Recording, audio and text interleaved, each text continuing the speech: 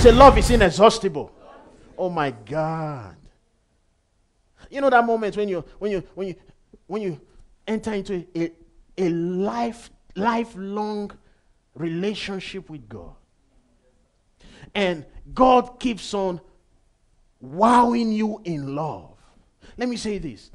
The love you have is sufficient for a, la- for, a, for a lifetime for many people. You can continue to love and increase and grow in love. Amen. Okay, let me say this now to help some folks. Tell them what my love is inexhaustible.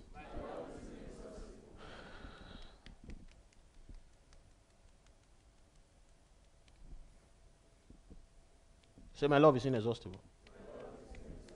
It is foolish for you to say, you know, there's nobody, you know, I can never love another person. I can't love another person. If you know, I really love him. You're foolish, amen. You're ignorant. There's, you have enough love. Tell me I got enough love. Amen. If he left you, you move on to the next. Amen. And you know what? God's going to give you an ability to love even more than what you had before. It's from greater to greater. Am I talking to somebody? I love. I keep on loving. Amen. I just keep on loving. You see that? That's it. It's inexhaustible. I just love. There's enough love. Tell me there's enough love to go around. It's inexhaustible. That's what the Bible says when it says, love never fails. It never what? Finishes. It never finishes. Tell me love never finishes. Amen. Can, can you say this, okay? Can you say this? Can you say this? Can you say this? You know, you know, um, say, say, say, say future husband.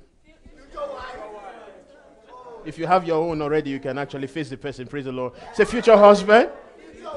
There's enough love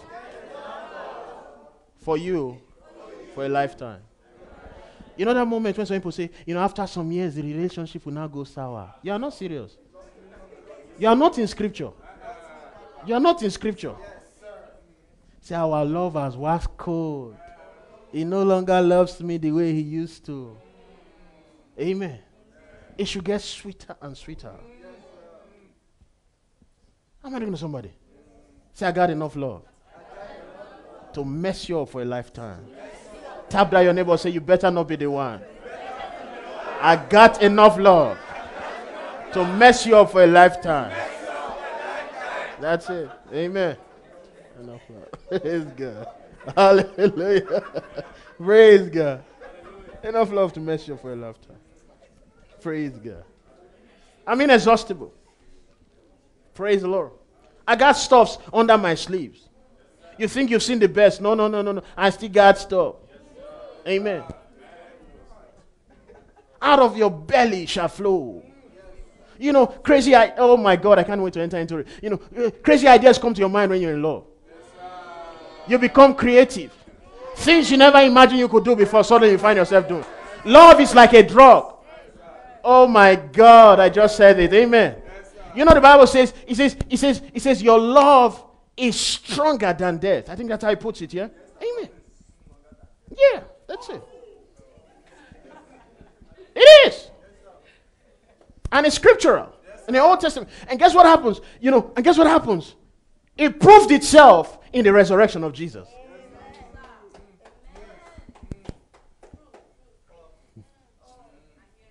The power of love, the way people are so scared and almighty death, we must all experience death. Brother, can I shock you? We must all experience love. Amen. Tap your neighbor, say you feel it too. Say you will experience it too. Say even you too, as well dressed and organized as you are, will be swept off your feet when love comes. I can tell you that for sure. Amen. You won't believe it's you this thing is happening to.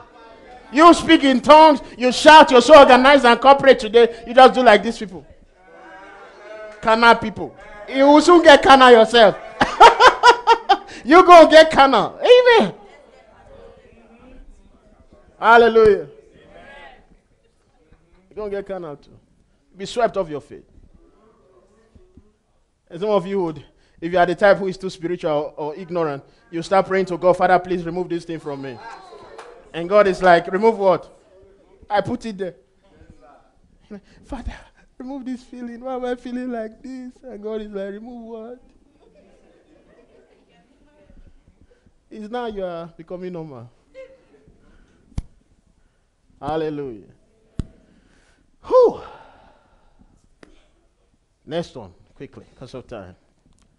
He said, and to know the love of Christ which passeth knowledge. Tell love, love. Goes, beyond knowledge. goes beyond knowledge. You can explain it.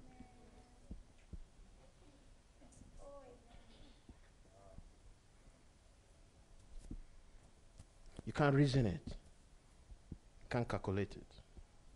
It's beyond knowledge. It will humble you. Amen. Praise the Lord. When you see that thing which, ha- which has happened to everybody else happen to you.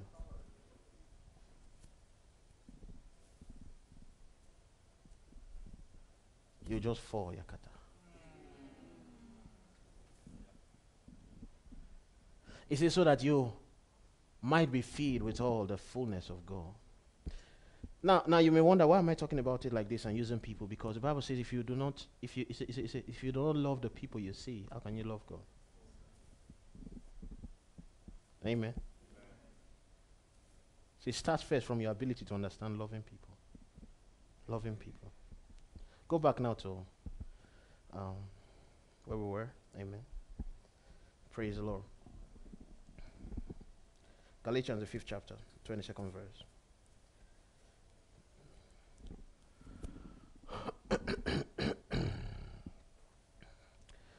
So I began to say that there's only one fruit, and every other thing you see after that is an explanation.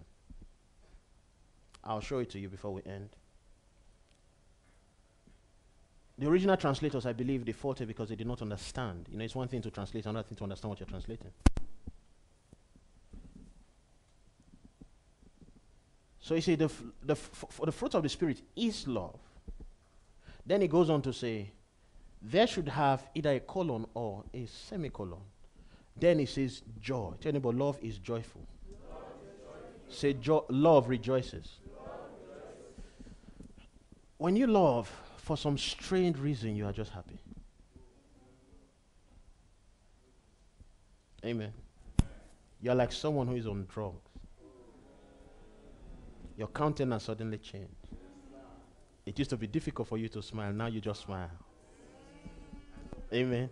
You don't care whether the smile fits or not, it just flows.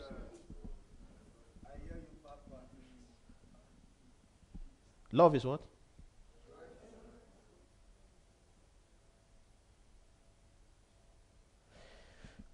I wish we could divide scripture. Um, I mean, divide the screen. I would have loved to be comparing it with another verse with you, but if you look at 1 Corinthians 13, stay on this one if since we can do that.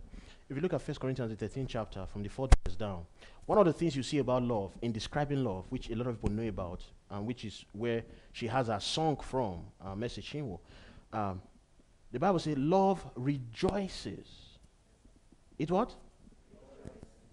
So whenever you are in love, you are just happy. Tell me you are happy. happy. Yeah. Amen. There are some of you now who think you are happy. Believe me, when the day you, you, you, you're in love, huh? you enter new dimensions of happy. You will stop caring how your neighbor thinks. And you just start worshiping. You just start praising. When it's praise time, you that used to be conservative for some strange you'll be dancing. You can't understand why you're dancing now. The drug is working. Tell anybody the drug is working. Amen. They can't convince you to praise. They can't convince you to dance. Amen. Amen. But the day she says yes. Amen. You'll be forming your own songs. You've never composed songs, but that day you start composing. Everything starts fitting in. Too much joy. Praise the Lord. Hallelujah. Praise the Lord. Joy suddenly comes.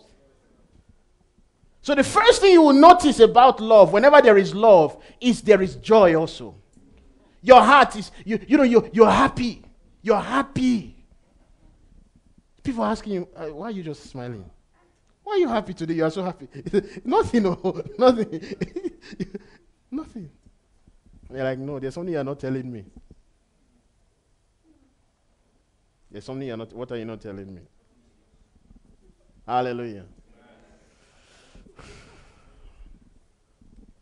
My, you see, your love for God, your love for yourself, and your love for people would definitely look exactly like this. I'm talking using something you can relate with, but, but, but there are moments you're so joyful because you love God.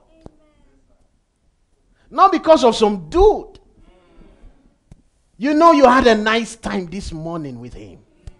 Amen. You know, you know, for the first time, you know, like I prayed for five minutes and then, you know, like it was so beautiful. And you're so happy. And another person prayed for one hour and he's not happy. I don't understand him. Amen. Because to you, that five minutes was wonderful. Hallelujah. When you when you love, you have joy. Amen. How many of you you know that thing when your teacher comes to class and is always angry?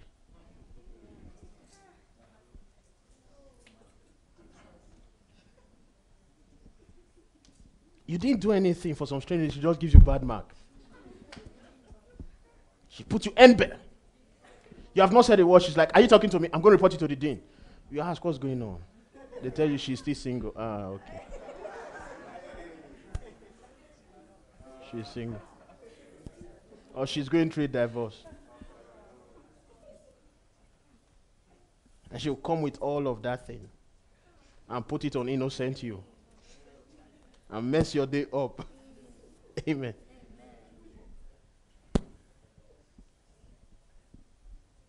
She's not joyful. She's not happy. She can't understand why you why you why you why all of you just so happy. Why are you so happy? There's no joy in her life. And that's one of the key things of the kingdom. The Bible says the kingdom of God is righteousness, it is peace, and it is joy in the Holy Ghost. And you know what? The Bible says that's how they're going to know you are my disciple by your joy, by your love. So, so the love is going to manifest itself as what joy. Tell anybody, I want to see your joy. I want to see your joy. You know, folks, sometimes some believers, the reasons why they don't, they, sometimes they come to church and they don't stay in church, they don't see people in church happy. Even if it is fake one, at least. At least in the club, they see fake one. Dr- you know, um, wine or alcohol is making everybody, you know, happy. Uh, you know, don't, don't play with alcohol, it will make you happy. I'm telling you that. Alcohol will make you happy. It's true. Some guy who normally doesn't talk to you, who normally doesn't smile with you, who doesn't greet you when he's high. Every nice thing. He call you every name. You need to be high on love too. Amen. Amen. You need to be high on love. You see some folks who never sing. When they get drunk, they'll sing some nice songs. They will compose songs and they don't care how it sounds. Why? They are joyful. And the Bible says love will do exactly the same thing. Tell me about love, love. will make you joyful. You. Yeah. You know what it says next? He says it will keep you at a state of peace. Tell me about peace. Peace. peace. One of the way love manifests itself is the peace you have. You're at peace. You feel like you are not at rest you feel like you finally found it. You feel like, you know, everything is going nicely now. You're not worried. You're not moved. Hallelujah. Amen.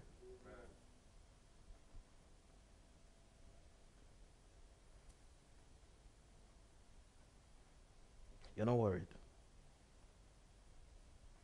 And that's why sometimes, sometimes, you know, what folks are looking for. And that's why some people are so crazy about relationships. It's not so much about marriage, it's not so much about sex, it's not so much about many of the other things. They just need to know someone loves them that will keep them in a state of peace. That's why someone can tell you, I can wait, so it's not a problem, I can wait. And you're like, you can wait 10 years. You're like, yeah, I can wait. You can wait 10 years. I can wait. And there are folks like that. You're wondering, brother, I better go and marry. Leave me alone. Praise the Lord.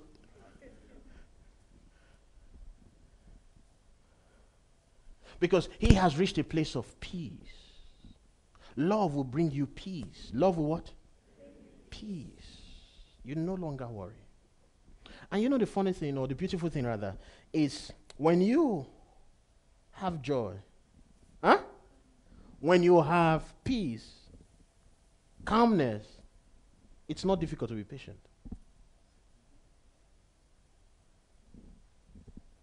Long suffering. I can decide to wait so long as I'm still what? Happy. Are you flowing at all? The reason folks are not patient many times, they are not happy. They are not at peace. When you are, it is impossible to be joyful, to be peaceful, and not be patient.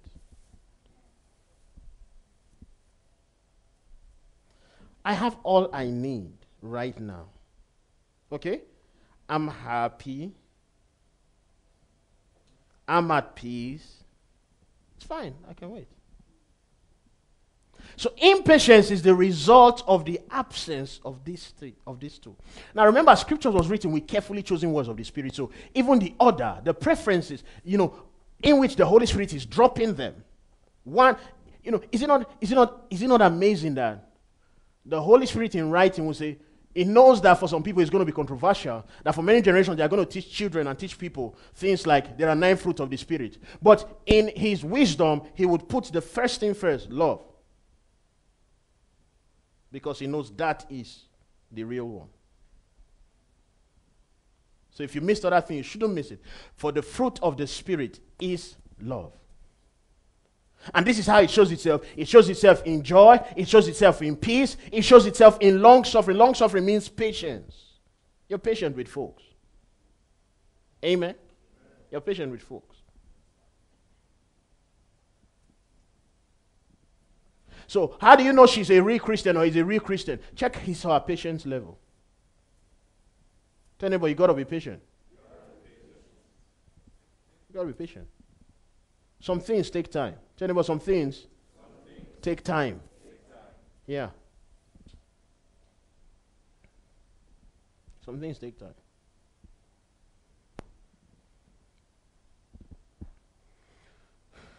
Never lose your joy. Never what? Never lose your joy, never lose your peace. It will help you to stay patient.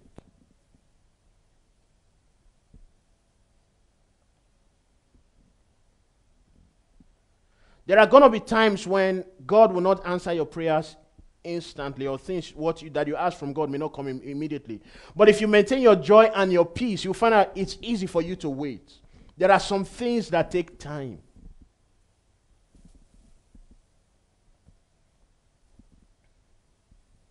You may not marry when your mates marry. If you don't lose your joy and your peace in the time of waiting, it will be easy for you to wait as normal as everyone else. Tell anybody, God, I, I need to keep my peace. I need to keep my joy. Amen. You don't feel, you know, uh, cornered. You don't feel um, like you're on the wrong side, on the bad side, you know, and then you start, you, you know, falling under pressures and then hooking up with the wrong folks and wrong people. Because now you are under pressure. You lost your peace, you lost your joy, you're no longer in a state of peace, and you're making wrong decisions.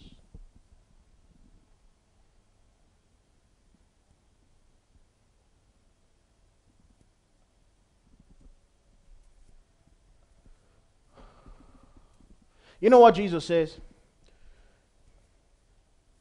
He says, By their fruit ye shall know what? You know the tree, not by the leaves or the tree itself. You know the tree by the fruit which it bring, which is bringing. So the true test of a mango tree, you know, there are some trees that look exactly the same.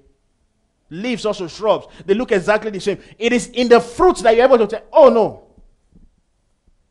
this one is different.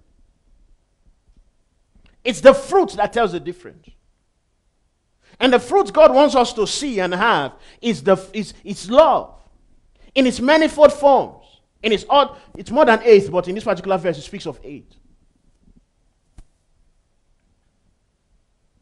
About kindness. That's the next one. The King James translates it here as um, um, gentleness, but it's not gentleness. Gentleness comes after. This particular, the, the Greek word used here is actually kindness. Tell about kindness. Kindness, kindness. Love is kind. Love is what? You know what kindness is? Kindness is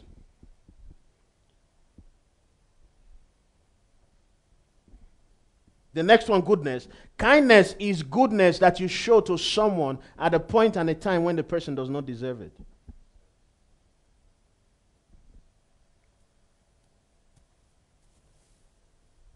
You know that moment when someone tells you, please be kind to me. You know, the person has erred, the person has made a mistake, but still, love, love is kind. Tell about love is kind. How kind are you when folks hurt you? You give it back to them. You shake the whole place. Don't just try me. In fact, at the spark, my head is hot. Today you gonna say my head not the house. Where you go?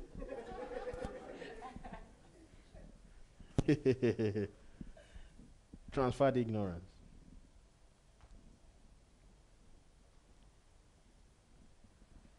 Learn to be kind, please. And it starts from you. How kind are you to yourself? Learn to be what? Learn to be kind to yourself. There are some of you, you've made mistakes, but you, till today you have not forgiven yourself. You punish yourself. You make wrong decisions just to complicate things for yourself. Learn to be kind to yourself. Learn to forgive your very self. There is no person who has not made mistakes in this life.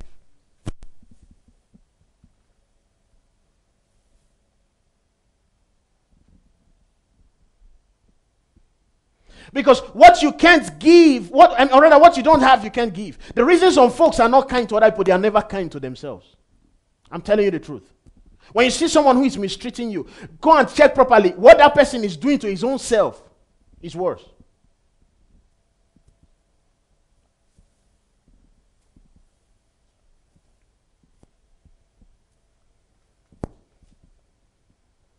Tell neighbor, be kind to yourself.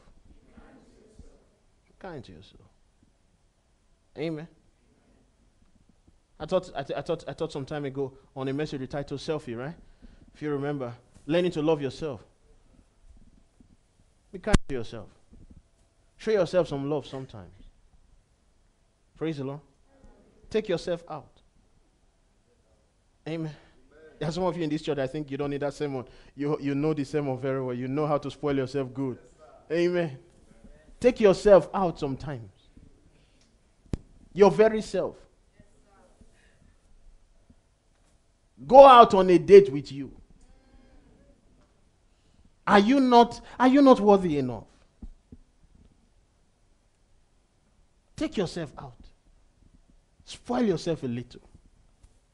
Get yourself something. Hallelujah. Tell anyone, get yourself something. Buy yourself a gift. Surprise yourself and act surprised. Surprise yourself and act surprised. Ah! It's a wristwatch. It's so nice. Oh, thank you. It's so beautiful. Ah. And you know, put it on your Instagram. T- tell everybody about it. You know, like you got this special gift. Uh, you know, like some anonymous person surprised you with this gift. Let it be. Some admi- secret admirer. Someone who is crushing on you. Let it be. Tell them I got a crush on me. Amen.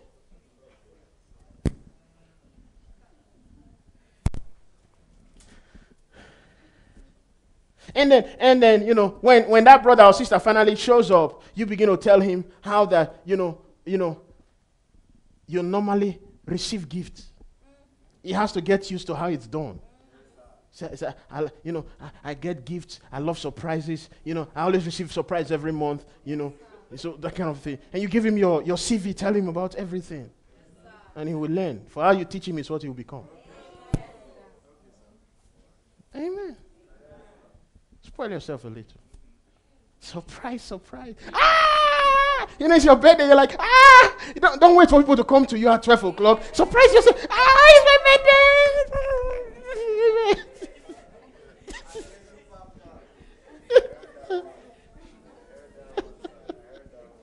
Amen.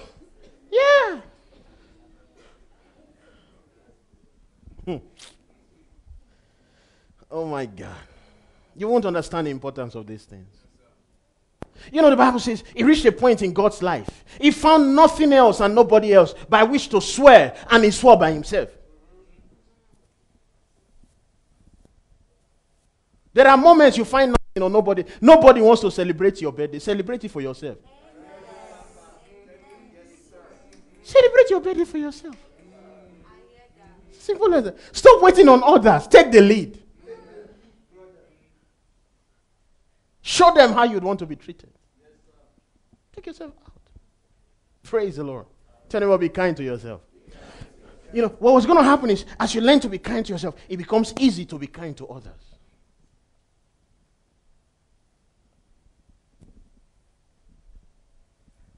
It becomes easy to be kind to others. Amen. The next one is goodness. Goodness, I already said it's, um, well, I differentiated it from um, kindness. But goodness is the ability to just do something good, regardless of whether the person has done something to merit it or not. It's just in your nature. God, the Bible says, it does good to both the good and to the evil. To the evil, it would actually be more of a kindness. That's why you see folks sometimes just cry like, you know, God is so kind, you know. So don't know what I've done to deserve it, but He just keeps on blessing me. Yeah. Hallelujah. Goodness. Hallelujah. Tell surely. Goodness and kindness shall follow me all the days of my life. Yeah, that's that scripture. Surely. Goodness and mercy shall follow me all the days of my life. All of it. Amen. Can I speak to somebody? You don't, you don't have to let folks. You know, there are things you may do in this life that people may not forgive you for. Huh? Forgive yourself. Are you hearing me? Forgive yourself. You deserve it. Hello? You deserve it.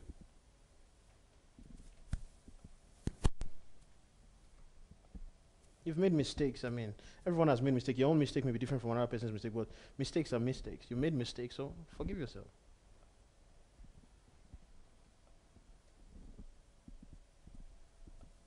Be good to yourself. And then the, the next one he says faith. Tell about faith. Love, one of the one of the one of the manifestations of love is faith. Faith believes easily. Faith what? Faith be, uh, love rather believes easily. Love believes easily. Love what? First Corinthians I think puts it like this. It says it believes all things. Love believes all things. When, when you love, in fact, when someone tells you anything, you just believe it. You are not even thinking straight. You know, that moment any person tells you, you know, I'm going to buy you an aeroplane, and you're like, oh, yes, I believe it.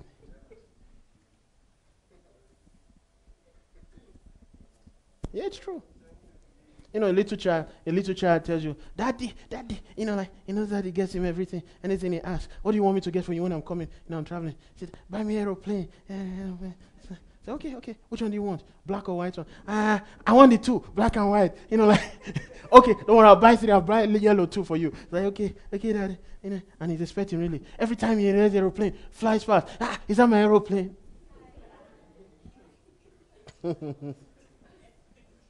she's not 22, she's still waiting for the plane. the plane is still coming. But she believed absolutely. Love believes all things. All things.